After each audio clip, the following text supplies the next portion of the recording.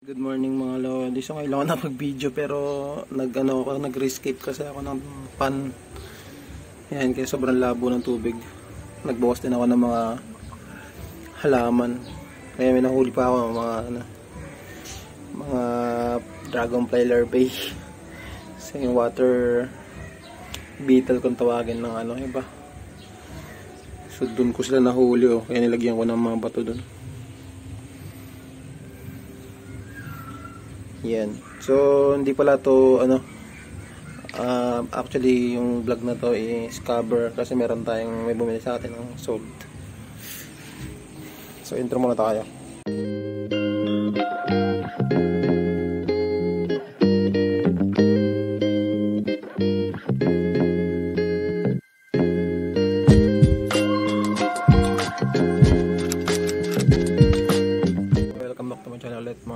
Brother. So tatlong strain yung in-order sa atin ng tropa natin. Si Brother Reggie, si umorder si Brother Reggie ng lemonade sa atin. So tingnan natin yung lemonade niya.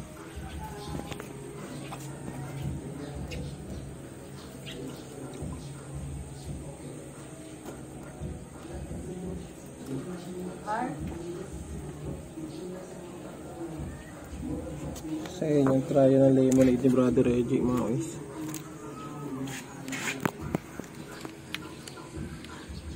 Yan. So, selfie ribbon. Ribbon din yung lalaki. Okay, tayong solid na solid na try. Then, bumili din pala sa atin siya ng isang trying PKBM at isang trying Sunkiss. And protein pellets. So, pagbalot ko na lang, papakita yung protein pellets.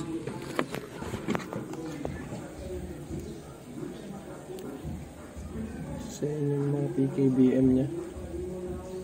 Sa press match press material grade.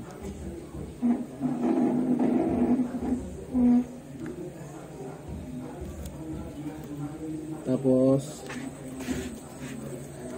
so yan. So yan naman yung PKBM niya, yan.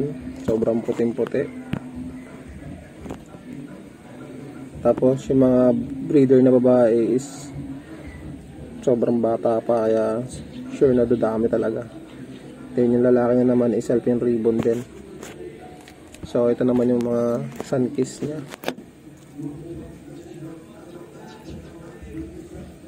So yan, sunkiss.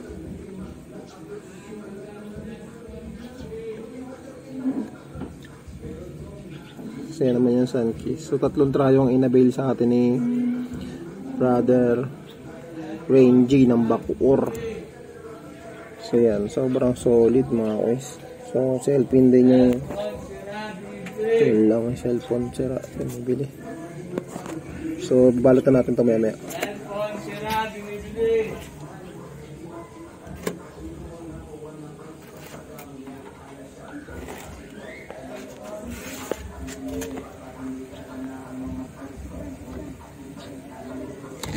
Okay, so magbabalot tayo ng order ni Brother Rainier. Renji pala, Renji. Sorry, sorry. So, maaga ako nagising kanina, kaso nga lang, ang ginawa ko, hindi ko lang na-cover. Linis ako ng pan.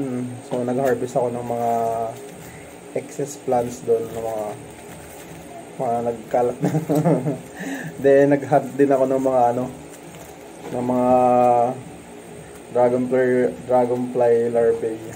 Kaya may nakita nga tayong apat. Pinakain ko na sa flower horn, hindi ko na rin binidyon kasi lalabas din kami. Kasi ano ngayon, linggo ngayon eh. So ngayon, magbabalot lang muna tayo ng order. Tapos bago tayo umalis. Gawin ito ba ko order mga kols?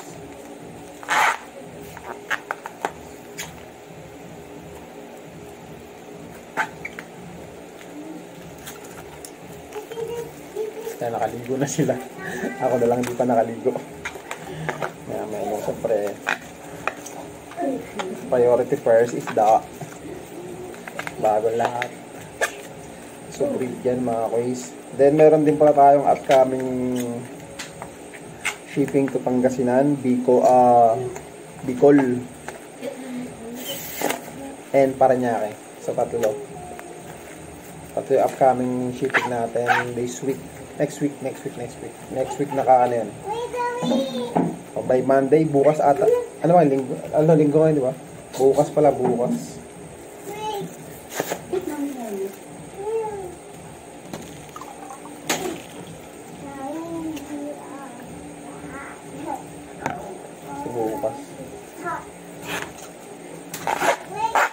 Happy Sunday. Happy Sunday pala.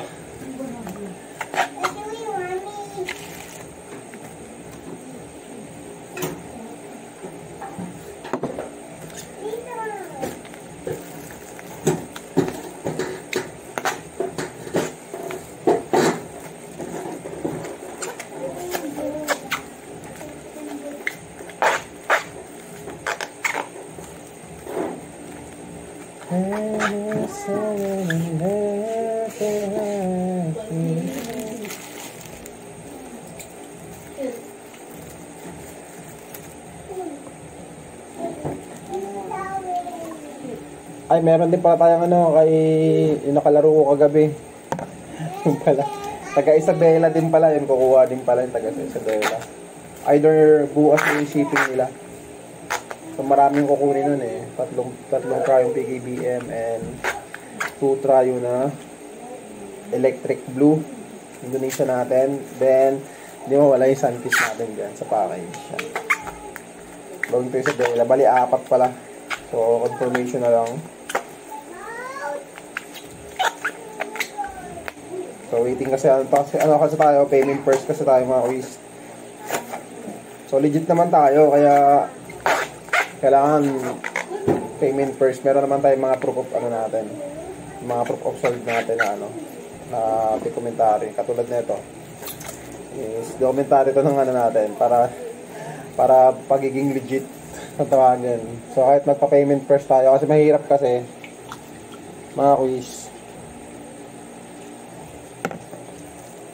Ah, meron kasi ako mga na, na ano tawag dyan, na tawag, nakakausap or na-entertain ng mga buyer, yung mga joy buyer, tawagin. So, tanong, tingin, yan, tapos naka-reserve na, no payment, so buyer na daw. Tapos, up, after nun, yung araw na, is cancel. kasi walang pera. Yun nga yung ano. So, iniiwa, iniiwasan natin yung kasi nasasayang yung effort natin mga guys. So, sayang yung oras. Yung oras na binibigay natin sa kanila. Kaya ako, payment first ako, no show. No show ng isda. Pinapakita ko naman pag legit wala naman problema yan. Kaya nag-chat na sana. So, nakikita nyo naman yung mga comment ng mga ano natin, mga customer natin. Actually, yung mga customer natin yan, halos kasagaran hindi na natin pinapakita yung mga isda natin sa kanila kasi mas pabor sa kanila pag ako na yung sumipat ng isda nila or selection. So, hindi naman kasi tayo nagbibigay dito ng mga ano, talagang walang reject mga uns. Hindi tayo nagbibigay ng ganun dito. So depende, depende sa depende sa ano, tawag yun, depende sa may budget nyo kung gaano ka quality yung mabibigay nating isda. So yung mga package package, yan, yung mga breeding mats natin, yung pang breeding mats is taltalo na talaga sa mga package deal na yan. Pero kung gusto niyo talaga ng yung quality mats talaga na pwedeng ilaban, yun, nakadepende rin yun. Nakadepende rin sa mga mga budget nyo. Then, may nag-comment pala sa YouTube natin. Si brother ano nang Siljan ng uh, hindi ko sure Imos ba yun? Or Bacoor? Hindi ko sure kung taga. Basta na ano ko to eh, na, na alam, alam ko kilala ko to eh kasi napag-uusapan to sa mga GC yung natawag nilang baliw na breeder ng Dasma ba yun? ano? medyo na ano kasi ako sa ano, lugar-lugar dito sa Cavite, hindi ko pa masyado kabisado. Basta yun, yung natawag na baliw na breeder, yun na cover ni o, Otits ba yun? Otits, si Beta Journey. Yan. So, nag-comment siya sa akin, this, So, gagawin ko ng ano yun, gagawin ko ng uh, gagawin ko ng vlog yun. Kasi nag, ah, yun nga, nag, sabi ko sa kanya, eh, nagtatanong kasi siya kung ano bang standard ng mga isda natin sa pH standard, which is the quality, yung quality standard dito sa pH. Kasi nga, sobrang daming lumalabas na iba-ibang standard basihan, ibig sabihin, yung mga basihan kung paano titingin ng mga kalidad or quality na isda. So, itatalakayin natin yan for next video. Mamayang hapon, pagbalik ko, pagbalik namin. So, uh, unahin ko muna ito. Mamamalengke muna. Actually, late na yung mamamalengke. Dapat kanina. Siyempre, ay muna muna natin ang pag-iisda bagong lahat isla muna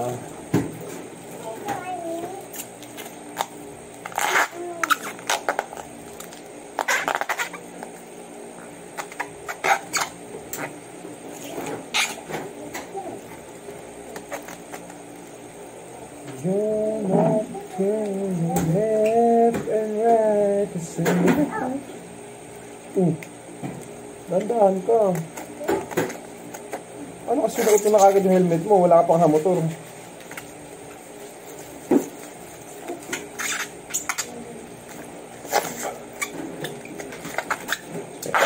Ganito lang yung daily routine natin mga. Ayan, so, maintenance sa umaga, maintenance sa outdoor natin, tapos indoor setup, yung mga beta natin, pakain, water change, pakain sa mga ibon, yun yung mga daily ano natin, routine natin.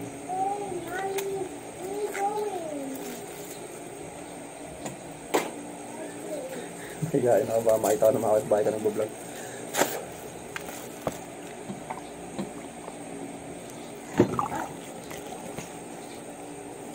Um, ang tami naman yung mga kuis. Tangina ka. Ayun, lemonade natin mga kuis. Uh, self and ribbon yan mga kuis ha.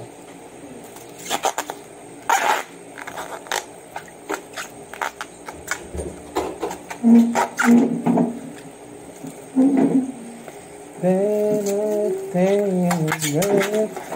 Okay, humahaba na yung video mga guys. So, actually yung vlog ko talaga is 12 to at uh, 8 to 15 minutes yung pinakamahaba na. Pero yung iba uh, sobrang napapasarap yung topic natin. Umabot na 20 minutes. Sobrang haba na. So, cut ko muna to. Then, pakita ko sa after natin magbalot. Kama ulit to my channel mga lodi. So, tapos na tayo magbalot. So, yan. Pakita ko natin yung mga... So, yan. So sana magustuhan mo brother Renji, Ren, Renji ng Bacoor, tama ba Bacoor?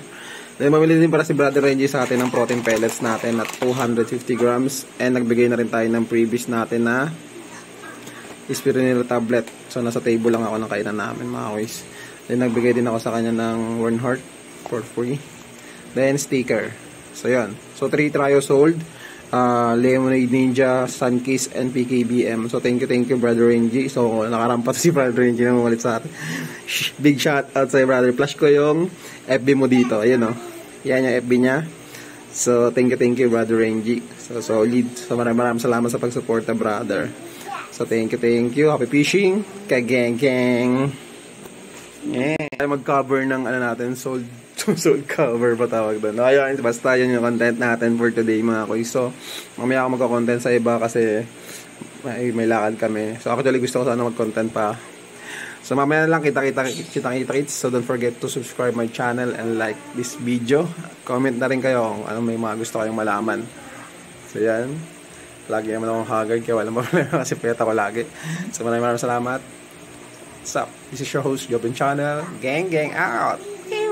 Psh, by fishing.